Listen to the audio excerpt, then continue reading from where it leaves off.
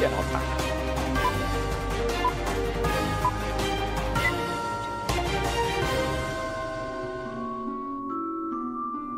Ay, ¿qué está anotando tan...? Estaba anotando lo de la camarita última. ¿Por para, qué? ¿eh? Porque, ah, para... Para buscar la historia de Está ese lugar, porque me intuyo que debe tener alguna historia interesante, Me por eso hay una camarita me gusta puesta la ahí. idea. Porque ahora justamente estamos en Historias Secretas del Mundo, así que...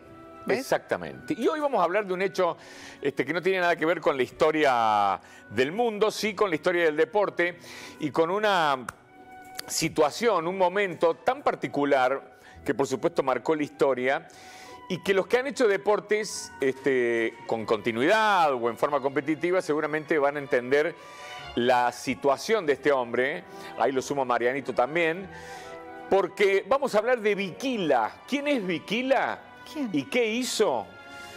Bueno, le voy a contar la historia de este hombre que ganó una maratón olímpica descalzo. Ah, bueno, a ver, a ver.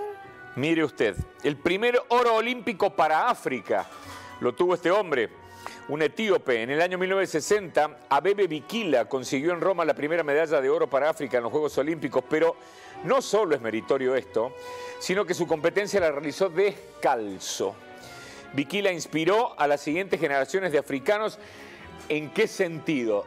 Se hizo como una especie de eslogan o de dicho, si cabe la palabra, y decían en, Etiopía, en África, decían, si Bikila hizo que los africanos pensáramos, si él puede, nosotros también. Mire qué, buena, qué buen legado. Eh, Bikila nació en el año 1932 en el norte de Etiopía, en un poblado llamado Jato.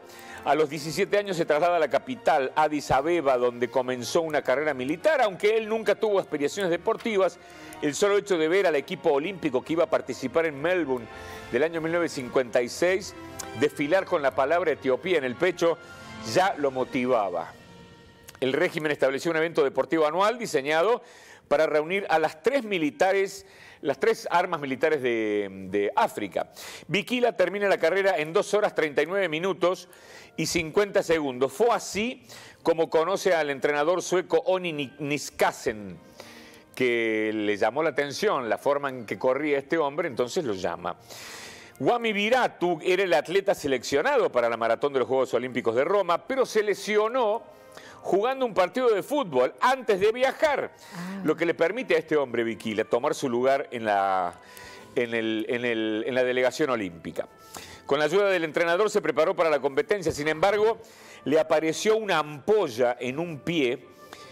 Qué increíble. Le apareció una ampolla en un pie de, de correr, de tanto correr, de su entrenamiento. Y por eso se saca... Entonces el hombre en la carrera dijo, esto me va a complicar, prefiero Claro. correr descalzo. Pero no era, era asfalto. Digo, ¿cuántas, ¿cuáles eran las posibilidades de que no se le rompieran los pies? Porque Ay. eran mínimas en realidad.